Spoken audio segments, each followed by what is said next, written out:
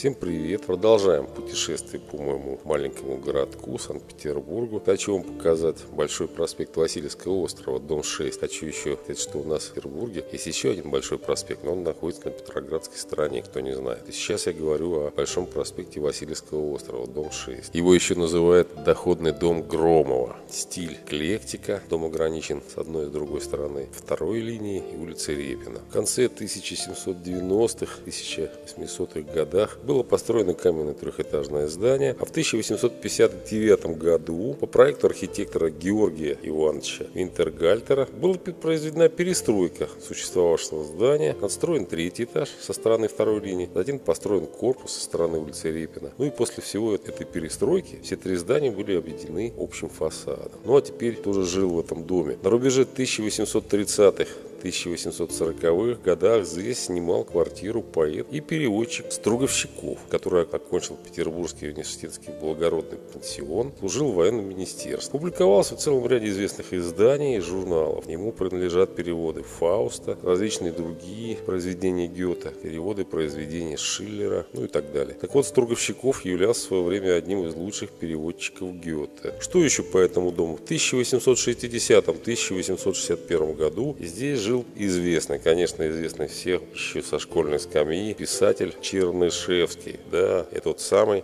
конечно, по школе помним сны Веры Павловны, ну и так далее. Вот. Он жил по разным адресам в Санкт-Петербурге.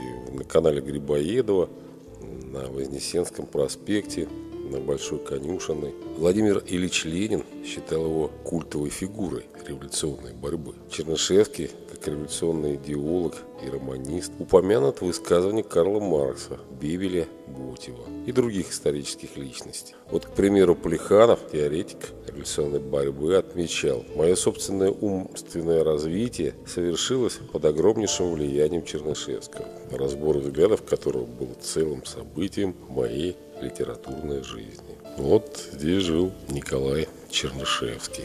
Обалдеть, конечно, сколько людей интересных. В 1912 году в первой линии переехал в музей Толстого. Ну, работал до 24 года, а затем он съехал отсюда, в Институт русской литературы. В 1910 году здесь открыл булочную пекарь Савичев, где и жил со своей семьей. В 1941 году его 11-летняя дочь Таня обитала, написала знаменитый дневник, который стал известен всему миру. Она это школьница, автор блокадного дневника. И на второй линии есть мемориальная доска посвящена как раз Тане Савичевой. Знаменитый дневник, я читаю пару строк, но нельзя об этом забывать.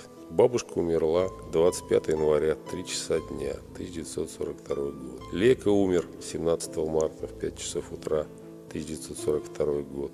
Дядя Вася умер 13 апреля в 2 часа ночи 1942 года. Мама 13 мая 7 часов 30 минут 42 года. Савичевы умерли. Умерли все, только Таня осталась. Надо сказать, что эти записи сделала Таня Савичева, 11-летняя школьница. И, собственно говоря, в них история ее семьи в период ленинградской блокады. Грустная, как, конечно, ремарка история. Но история есть история. Здесь жила Таня Савичева. Ну, а историю, конечно, забывать нельзя. Да, историю забывать нельзя. У меня самого мама была в блокаду вместе со своей мамой. Так что надо помнить. Хочу сказать, что когда я учился на Васильевском острове в 10 классе, мы ходили в дом радио и как раз записывали что-то из воспоминаний Тани Савичевой, потому что я учился здесь недалеко, на съездовской линии, и говорили, что там тоже она училась, Таня Савичева. Ну, так ремарка. Что здесь еще было? Здесь был детский сад Василиостровского района, и здесь жила Мархат Горбовская, Валерия Антоновна. Ну, это все то, что я просто перечисляю, что смог найти. Уроженка Деревни Залесенки, Деснинского уезда. Полька, беспартийная, револьверщица завода имени Казицкого, проживала здесь. Арестована 1 сентября 1937 года комиссией НКВД и прокуратура СССР 2 декабря 1937 года. Приговорена по статье 58.6, а это контрреволюционная деятельность, к высшей мере наказания. Расстреляна 10 декабря 1937 года. Да, 1937 год, конечно, это было ужасные времена. Хочу сказать, что моего дедушку тоже в то время арестовали. Вот. Он валил где-то деревья. А потом отпустили. Сказали, что мы были неправы. 37 год. Так, ну что здесь было? Итак, булочная, шестое отделение восьмого хлебозавода, 50 отделение восьмого хлебозавода, хлебобулочный магазин. Ну, собственно говоря, и все. Нет, еще не все. Здесь еще жил архитектор Габер Цетель.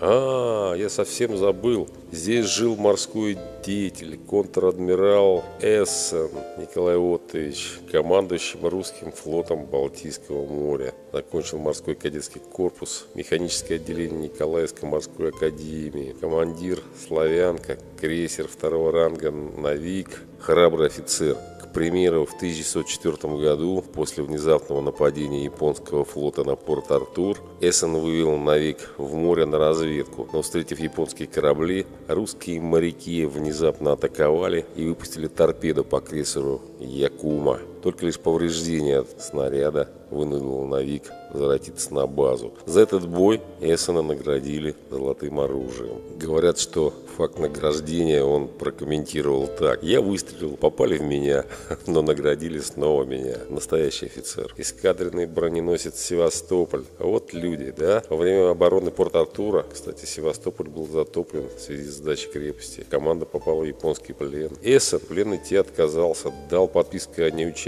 в войне и через США вернулся в Россию, где был назначен командиром 20-го флотского экипажа. Командир строившегося в Англии крейсера «Рюри», командующий отрядом минных крейсеров.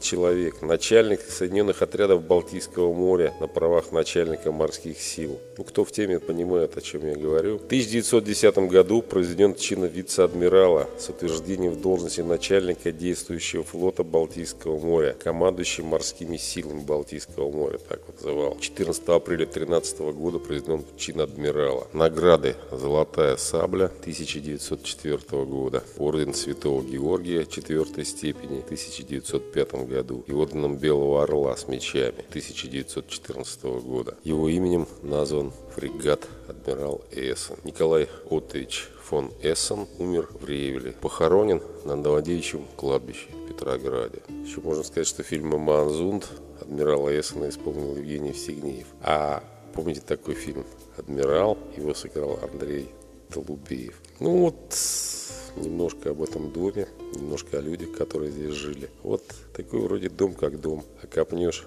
столько людей жило. Интересно. Все, всем пока, всем привет, до свидания. Это был Большой проспект Васильевского острова, доходный дом Громова. Все, пока, всем привет, до свидания.